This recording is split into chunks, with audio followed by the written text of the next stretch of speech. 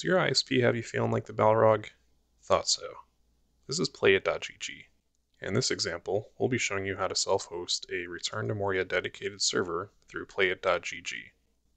First thing we're going to do, sign up for it. So we're going to open a browser, go to playit.gg, I'll have the link in the description, and you're going to download.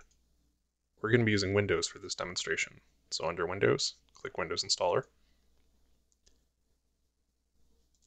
and open the file. Go through the setup,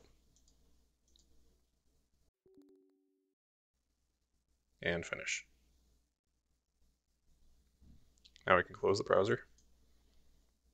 We'll run the program. And it'll take us to this link. So we can hold down control on our keyboard and click on it. It'll reopen our browser and take us to a login page. You probably need to create an account. Here you'll enter your email, your password, and confirm your password, and click create. After doing so, you should get an email asking you to verify your account. Go ahead and do so. I already have an account, so I will be using mine. After logging in, it'll have several steps for you.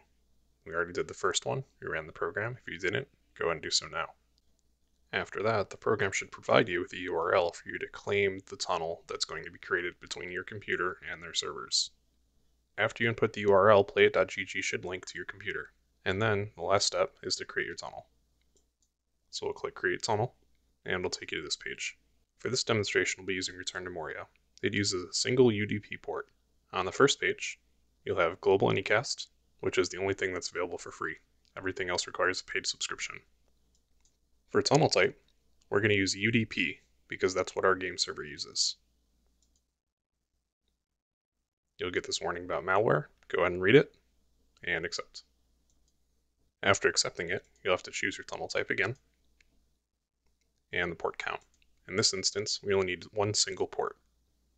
And the local port is going to be the port number that we specified in our configuration file. For this demonstration, we're going to be using port 8333. Yours will probably be different. So we're going to input our port here, and we'll add tunnel. It'll show us the tunnel spending, and then it should switch and show us that it has been created. So now what?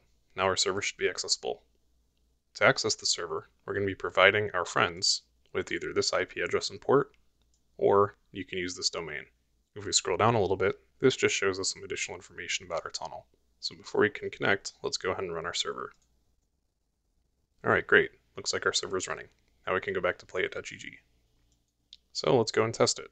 So we'll grab our IP and port, copy it, and then we'll boot up our game and try to connect. Now we're in Return to Moria. go to advanced join options. And here we'll paste our IP address and our port number and input our password if we set one up. Then we'll click join server.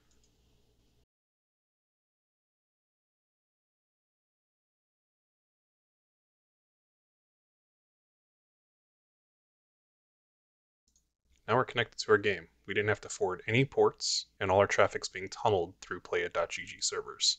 This should allow you to self-host even if you're behind CGNAT or behind a VPN. Thanks for watching and happy gaming.